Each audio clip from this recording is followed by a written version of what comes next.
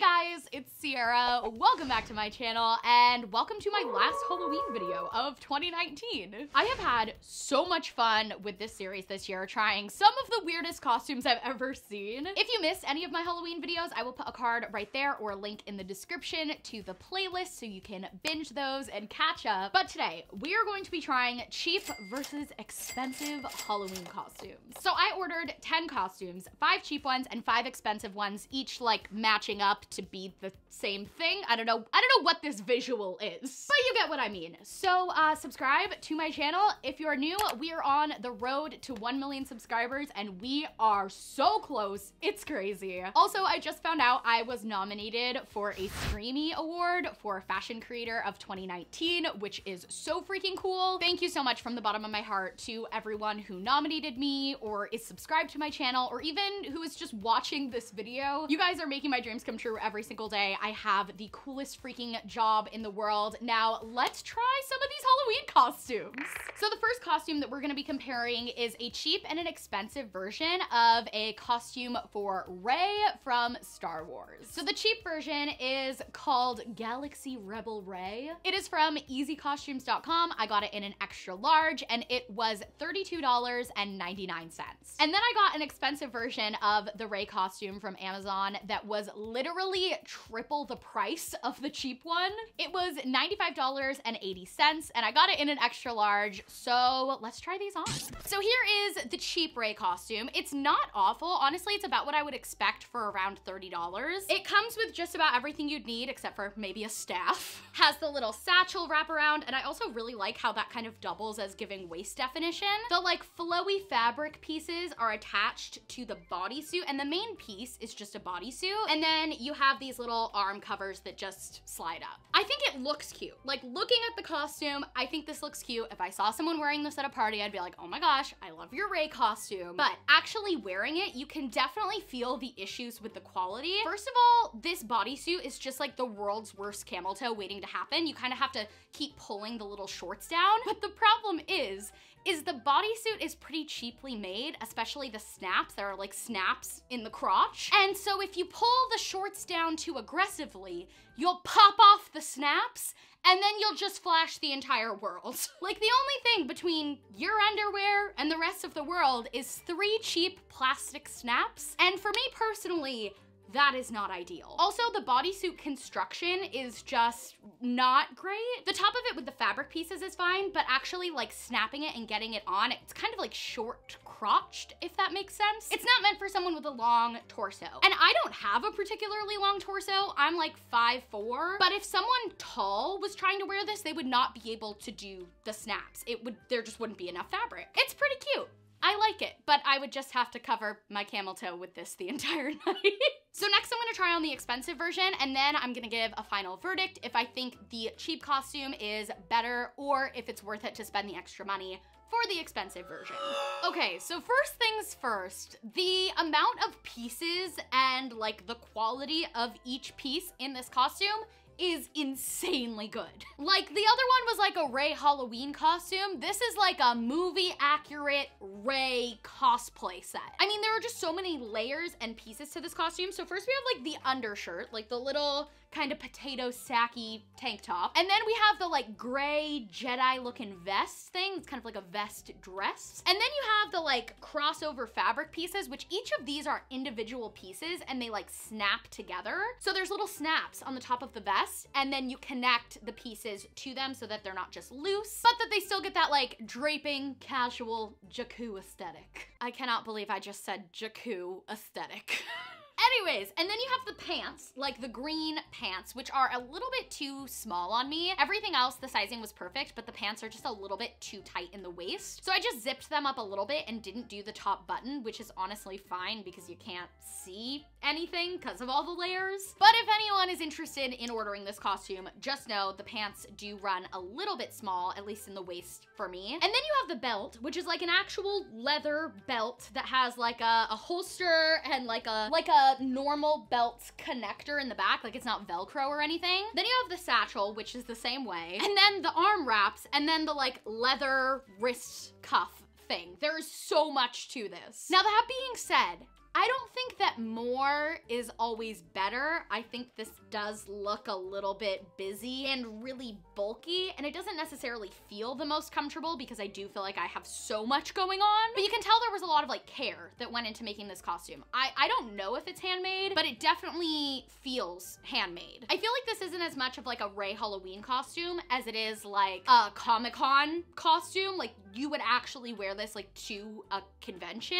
Whereas the cheaper Rey costume was really like a kind of like a sexy Rey Halloween costume. so that being said, it really just depends on what you're going for. Personally, I don't think I would go with either of these costumes. This one is just a little bit too much and it was a hundred dollars, but then the cheap costume is not the best quality and uh, you might end up flashing the world. So honestly, I wouldn't recommend either of these, but if I had to pick, I I guess I would go with this one because yeah, it's a hundred dollars, but you are kind of getting what you pay for. The next costume we're gonna compare is Hermione from Harry Potter, and I am a huge Harry Potter nerd, so I'm very, very excited about this costume. Let me know down in the comments if you're a Harry Potter nerd, and if you are, what is your Hogwarts house? I am a Gryffindor. So I guess it's fitting that I'm dressing as Hermione. But our cheap costume is from Amazon. It is called the Dream Girl Woman's Wizard costume. This costume was $23.64, and I got it in a 1X, 2X. And then the expensive version that we got is from Hot Topic. It is called the Harry Potter Gryffindor Student Deluxe Costume Set. I got this one in an extra large and it was $83.94. Now let's compare. So I'm a little bit confused about this costume on a few levels. So this is the cheap one, which on Amazon said it was called the Dream Girl Woman's Wizard Costume. And then this is like the insert on the bag that it came in and it's called Wizard Wanda. And uh, it comes with the Coke bottle glasses, and she's wearing those in the photo. But that makes me think that this is meant to be a sexy Harry costume and not a sexy Hermione costume. I think I just assumed that it's supposed to be sexy Hermione because it's like a, a woman's costume, but maybe it's sexy Harry after all. Anyways, let's get into the costume. So it comes with this very skimpy dress, which I would definitely have to wear tights or shorts with because in the back, it's literally showing my butt. And then uh, it's also very low cut. So personally, I would probably wear some sort of tank top with this if I was gonna wear it, but to each their own. It also comes with the cape, which has the little tie attached to it, the glasses, and the wand, which uh, looks more like a bamboo chopstick than it looks like a Harry Potter wand. But the fact that they even included it is something. For $23, honestly, it's not bad. It does come with all four pieces, which I think is nice. It's definitely uh, a little bit short and low cut for my taste, but that's more of a taste thing than a quality thing. I feel like late high school, early college Sierra would have loved this because it's nerdy and it's Harry Potter, but it's also like a sexy costume. The quality is fine, it's comfortable, it's not see-through, it runs true to size, so not necessarily my taste, but it's not a bad costume. I'm very interested to compare though. So let's try the expensive one. Hot topic, I have a bone to pick with you. You gave me no pants and no shirt. So this costume was on sale. The original price was 139. I don't know if because it was a clearance item, maybe it got mixed up and they didn't include all the pieces, but uh, it was supposed to come with a little gray plaid skirt and that did not come, so I have no pants. I just pulled the sweater down to be a dress. And also it's shown with a white collared shirt under the sweater, which it also did not come with. So, uh, not great on that front, but if, if we just ignore that for a second, this is a really fantastic costume. The robe is super nice. It's really high quality. It fits well. The sweater is also really nice. It comes with like an actual tie that you had to tie. This is my, my best go at tying a real tie. As you can see, I am not very good at it, but maybe it would look better if it was on the collared shirt that I didn't get in my order. It's such a bummer that they left those two items out of my order because I think this costume would be honestly fantastic if it wasn't for that. It's cute, it's fun. It could have been perfect if I just had pants. So I'll definitely email the Hot Topic customer service and see if they can send me the skirt because I do think this is a great costume. Other than that, definitely leagues above the cheap version and I think definitely worth it, especially considering that this one was on sale. So it was $83, which is still expensive, but I feel like for the quality that you're getting, if you also include pants, it's worth the price. Now I, I wouldn't pay that price for not having a skirt, but hopefully they will be able to correct the order and send me the skirt. The the button-up shirt I don't care as much about because that's easy to replace. I have a white collared shirt, but the skirt is uh, a little bit harder to find something that would go perfectly with this. So I can't believe I'm gonna do this, even though they literally didn't give me the skirt. But I'm gonna say the Hot Topic expensive one is worth the higher price point. It's really nice and high quality. You could actually wear this sweater like outside of Halloween, same with the tie. And the robe is really fun and it makes me feel like I'm like going to Hogsmeade from Hogwarts. Da, da. Next up from The Wizard of Oz, we have a cheap and an expensive version of a Glinda the Good Witch costume. So the cheap one is from wholesale HalloweenCostumes.com. It was $40.41, which is still pretty expensive, but I got this one in an extra large and then the expensive version is from Amazon. I also got this one in an extra large and it was, it's the most expensive costume we've tried so far. $122.50. Yeah, my bank account is gonna hurt after this video. This is so cheap and so bad. Oh my freaking gosh. So this is like what the cover of the costume looked like, the little cardboard insert. But I think this feels more like Tooth Fairy than Glinda. Like I guess technically this could be a Glinda costume. It's just the worst possible Glinda costume ever. So the, the crown is literally just like a piece of translucent pink plastic that is like still flattened and the only reason it has any shape is because it's on my head, but then it kind of like puffs out from being folded and it's not like it's like this is a little bit wrinkly, but you could iron this. You can't iron a plastic crown. And then the dress is just like literally so itchy. It's all like tulle and really cheap tulle. And then it has like glitter on it that the glitter is already all over my hands, all over the ground. You definitely couldn't like wash this and wear this more than once. It, it would have to be like you wear it and then you trash it, which is just like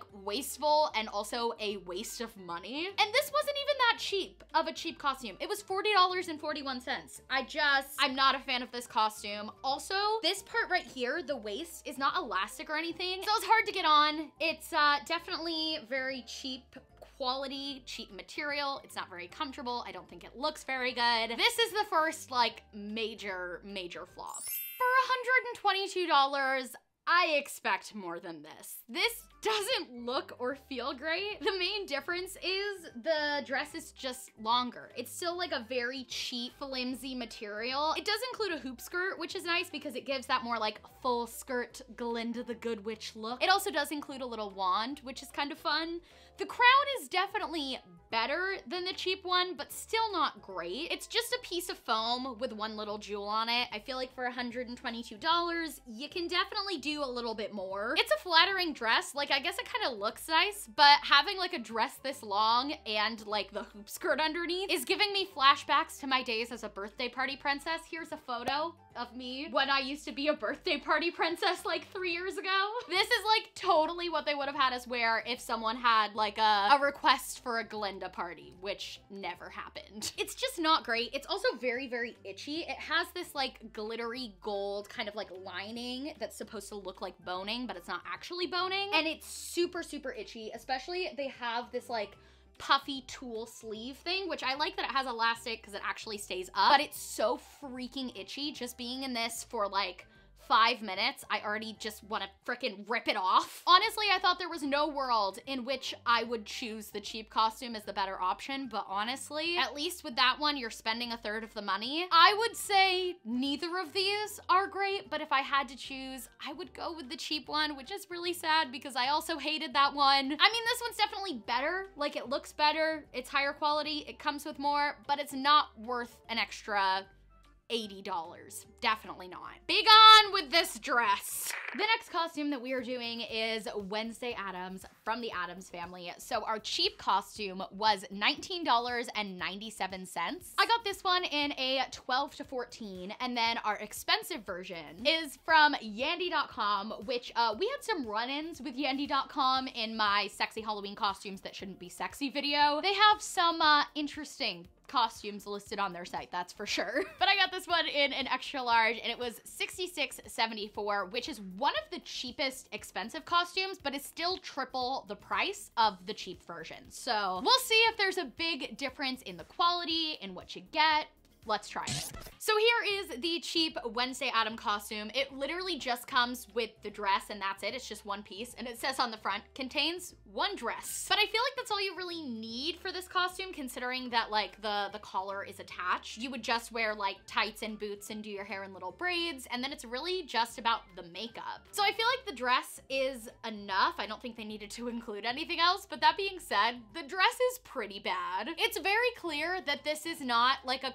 shirt sticking up underneath the dress. It's literally foam. And so are the wrist cuffs and they have like loose strings hanging off uh, like all over the place. It's not great, but if you're just going for the bare minimum, kind of like a last minute costume and you don't want to spend a lot of money, if you did your hair in braids and did like black lipstick, it would get the point across. But just as is with like my normal hair and makeup, it kind of makes me look more pilgrim than Wednesday Addams. I'd say it's true to size. It's a 12 to 14 and it fits me exactly the way I would want a dress to fit me like this. So let's see how different the expensive costume is. This is like very, very sexy Wednesday Addams. You know, this is not Wednesday Addams, this is Saturday Night Adams. Hello. Anyways, Wednesday Addams costume. It also comes with these like lacy, sexy fishnet stockings that I did not feel like putting on. And then it also comes with these lace gloves, which feel a little bit unnecessary, but I, I feel like it's fun that they included something extra. And then the dress itself actually is really good quality. I wouldn't say it's very true to the character Wednesday Addams, but if you're gonna make a sexified version, it is pretty cute. It's like this black, soft, velvety material, and it's by far the most comfortable costume that I've tried on so far. Kind of in a similar vein as the cheap Wednesday Addams costume, I feel like you really need the black lipstick and the braids to sell this look. Without it, it's a little bit more like sexy French maid than it is like sexy Wednesday Addams. Even though the dress is very bodycon, I love that at the bottom it's elastic so it really sticks to you. But I don't think the dress would ride up, even if you were like moving around, trick-or-treating, dancing a little bit. I don't know who dances like this. I am wearing Spanx under this, so that's what's giving me a little bit more shape. The dress itself is just like a tight fitted dress. It doesn't really have any structure. So I definitely don't need to wear Spanx under this. I don't think anyone ever needs to wear Spanx, but I don't think I would have as much structure to the dress if I was wearing it without Spanx. That being said, I definitely think this costume is better than the cheaper version. And compared to some of the other expensive costumes, it wasn't too bad. It was $66, which I do think is very expensive for a Halloween costume, but the material's nice, it fits well, and I kind of like it.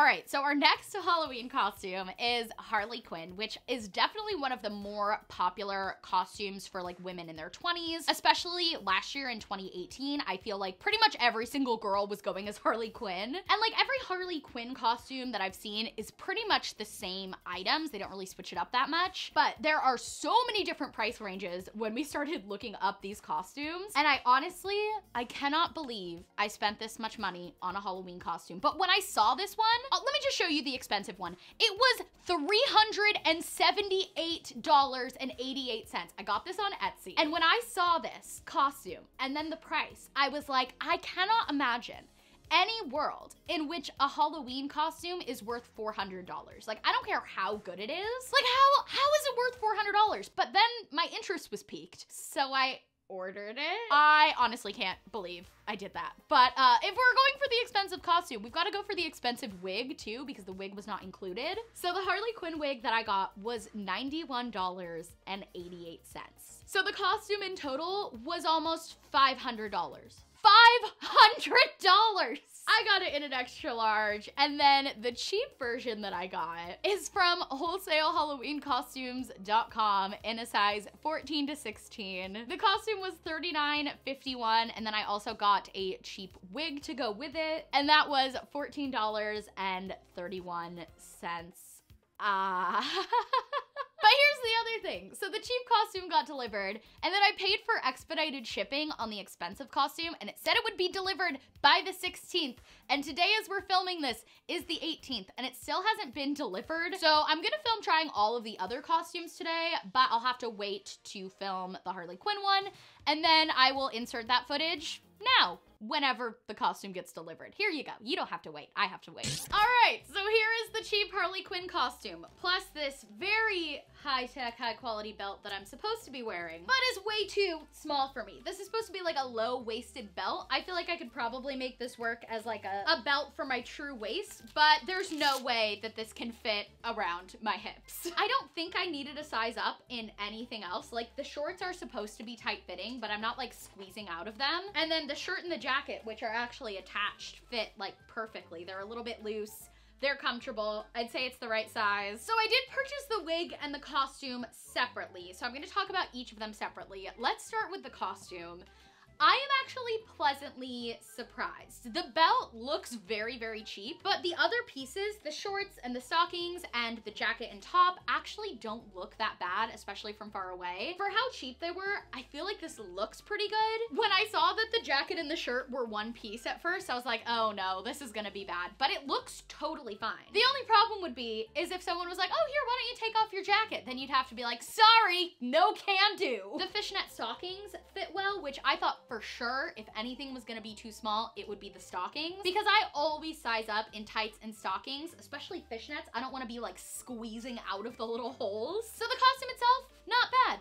The wig, eh, also not awful, but pretty bad. no one is gonna be fooled into thinking this is my real hair. The actual like front part of the wig, it, it doesn't look great. The hair feels very scraggly and cheap because it was very cheap, but it's definitely not the worst wig I've ever seen. Flashback to the crazy cat lady wig from Dolls Kill. Definitely way worse than this. Honestly though, if I was going to go as Harley Quinn, I feel like I would just wear my own hair and maybe add some blue and pink tinting to it, wear it in little pigtails, even though I don't have super blonde hair, I feel like it would get the point across and it would look much better than wearing this cheap wig. It's not bad though. I feel like this costume is definitely a bargain for the price that I paid, but let's try on the very, very expensive version and see uh, if it is actually like 300 something dollars better than this one. How is it possible that I like the, what was it, $20 version better than this like $350 version? I don't like this. I know there's more going on. I know it's higher quality, but confidence level, comfort level, I felt way better in the cheaper version. I'm not even gonna try to like make it a big reveal on which one's better. The I think the other one, obviously, it's cheaper, but honestly, I prefer it. Let's walk through this. So it actually didn't come with fishnet stockings. So to keep the look the same, I just left on the ones from the cheap costume. The shorts are literally just built-in camel toe. like it is not possible to not have these just like bunching up in my crotch. They're super low rise, which I know is the look of her costume, but they're actually like so low rise that I'm pretty sure I'm showing my butt crack. and they also run small. I bought this costume in an extra, extra large. The tag on the inside of these shorts says extra large.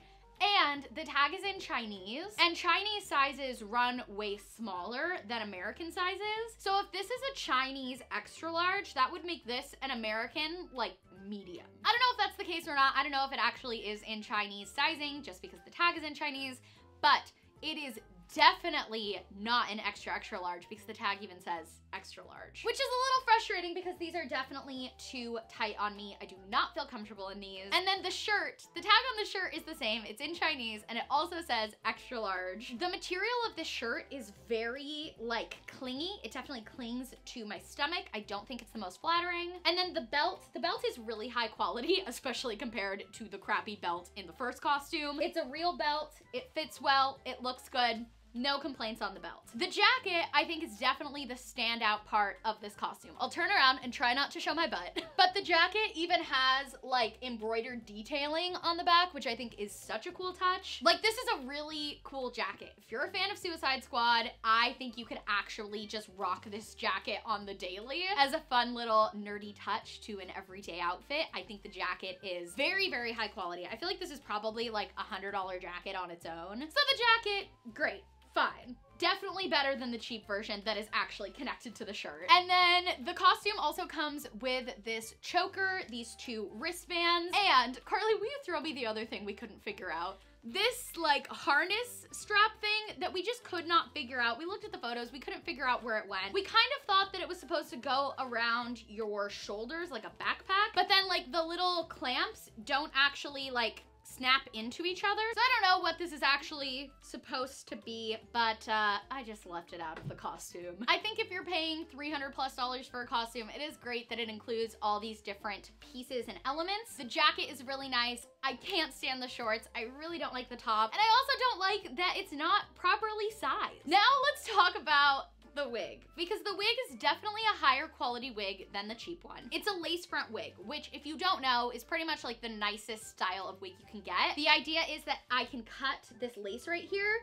and then blend it into my makeup so it really looks like it's my natural hair. I didn't take the time to glue the wig down and blend it into my makeup. If I was actually gonna wear this wig for Halloween, I would definitely do that. But it also didn't come in the pigtails. It just came as this long, luscious wig, and so I just had to add in the pigtails, which is a little bit frustrating. I feel if I'm paying that much money for a wig, it should already be styled for me. But it is what it is. The actual quality of the wig is very nice. The hair feels very silky. The quality quality feels much, much better and the wig actually fits to my head very well. The wig, I would definitely say is better than the cheap version, but the costume, other than the jacket and the belt, it's just not it and it's not flattering. I don't feel confident in it. And I'm honestly mad that I spent over $300 on this. So I'll be selling it on my Poshmark for much cheaper. But hopefully someone out there can get enjoyment out of this costume. Uh, it's not gonna be me though. Thank you guys so much for watching. Remember to click that card right there or the link in the description if you want more Halloween content. And be sure to subscribe to my channel because I put out new videos every week and you can follow me on Instagram if you want to see more behind the scenes pictures, outfit pics, all of that. You can find that on my Instagram. Anyways, be confident, be kind to your body, and I will see you guys next time. Bye!